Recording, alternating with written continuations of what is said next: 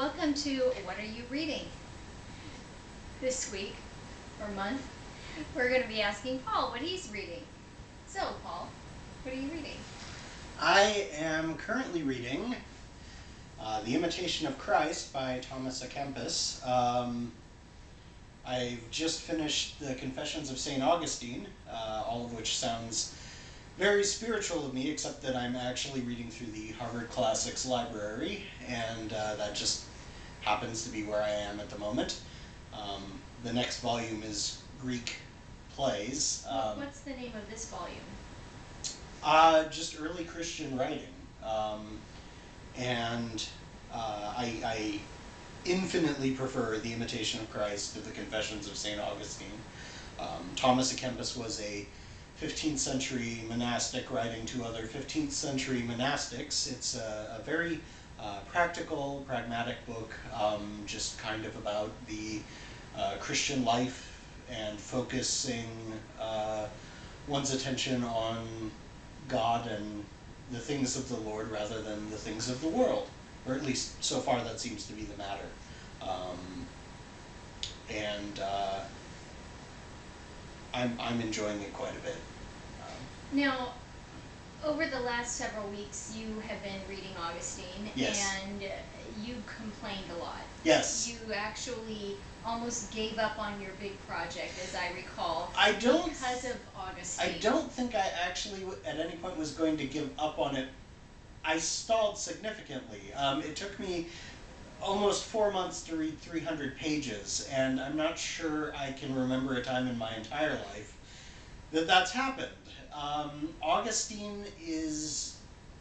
Augustine was very slow reading for me, and it wasn't a matter of translation, it wasn't a matter of uh, difficult language or concepts, it was simply a matter of repetitiveness. Um, his uh, it, it, it, the text is written to God as a confession, and it is just heavy laden with genuflection and uh, quoting scripture uh, back at God, which is a fine and good thing to do. Um, it also so happens that I didn't uh, completely agree with the man's worldview. Um, I liked him quite a bit.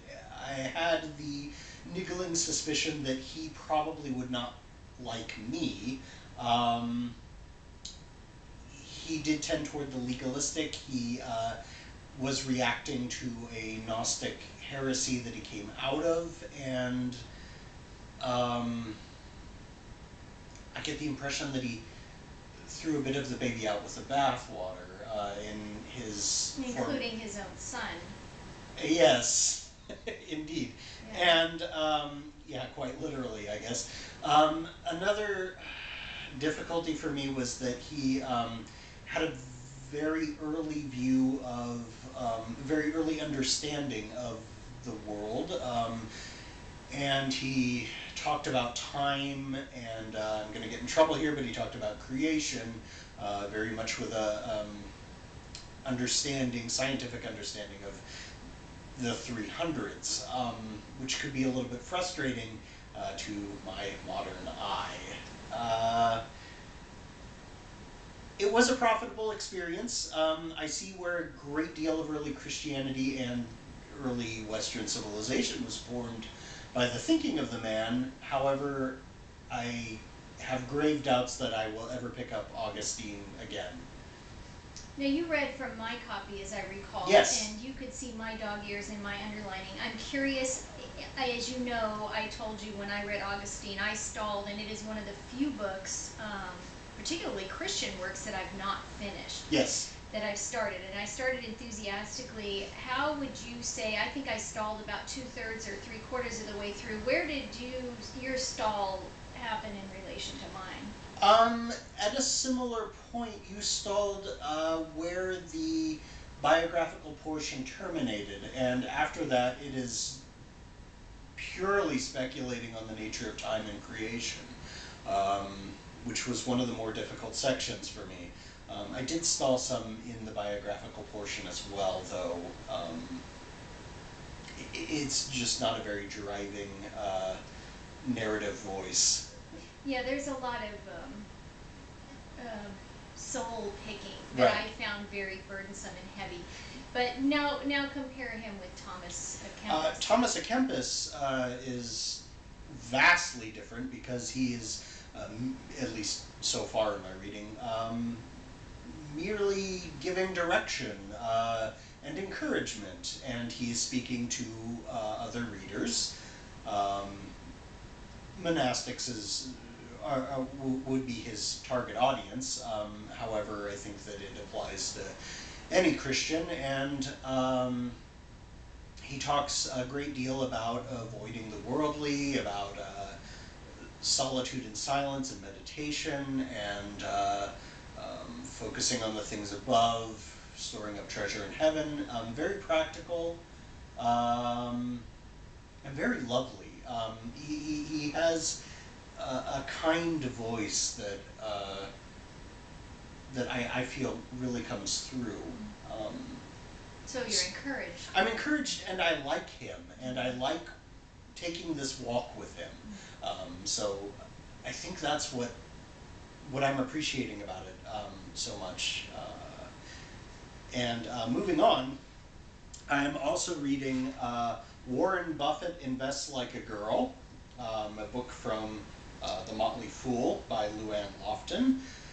Uh, it is a book that uh, talks about investing. It talks about um, how, statistically speaking, women are more inclined to um, invest over long term, not get scared by bearish markets and sell up, and um, how, uh, statistically speaking, women are more likely to uh, investigate what they're investing in um, a lot more, learn as much as they can, uh, read extensively, all of which are characteristics of Warren Buffett's investing.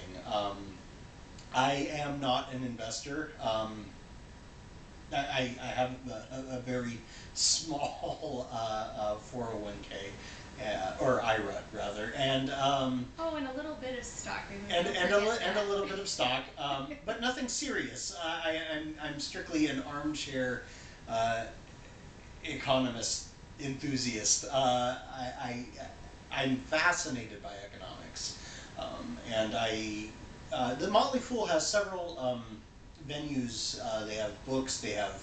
Uh, reports, they have uh, podcasts and radio shows, and um, You're very entertaining, surprisingly. they are, and they're one of my favorite um, podcasts. I uh, like the point of view of speaking to those interested in investing, getting economic news from that point of view. Um, I think that there's um,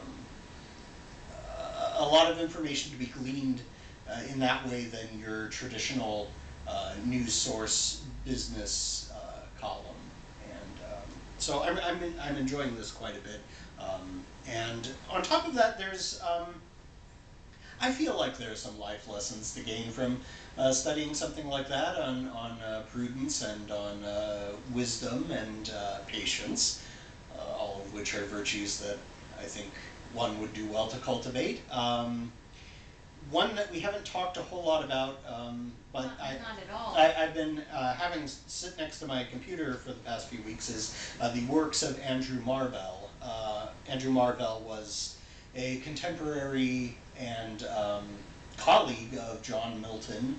Um, he was not a Puritan, but he was sympathetic to the Puritans and uh, against censorship. He lived through that whole uh, Cromwell period that uh, Milton lived through as well. And um, his satires and prose works were far more popular in his own day, um, but his verse is, uh, I find it transcendent. He was one of the medical, meta, medical, metaphysical poets, um, and he, he, he- there's just such an elegance to his uh, attention to form.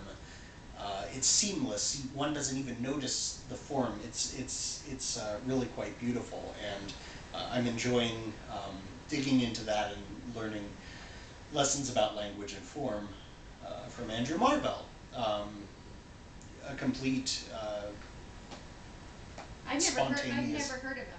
oh, really? No. Oh, fantastic. Um, the metaphysical poets uh, were um, a small movement in uh, Britain uh, in the 1600s, and uh, they were uh, th- the term metaphysical poet was originally kind of an insult um, to talk about these metaphysicals, uh, and uh, would not have been appreciated at the time. But John Donne, I believe, is in the same group, um, and a few others. Uh, Was he a devout man, Andrew Marvell? Um, yes and no. Uh, some of his poems are particularly secular in their matter, um, but uh, as I said, he was very much sympathetic to the Puritans, um, personally. But um, those are the three books that I am reading right now. Well, thank you. Thanks Thank for you.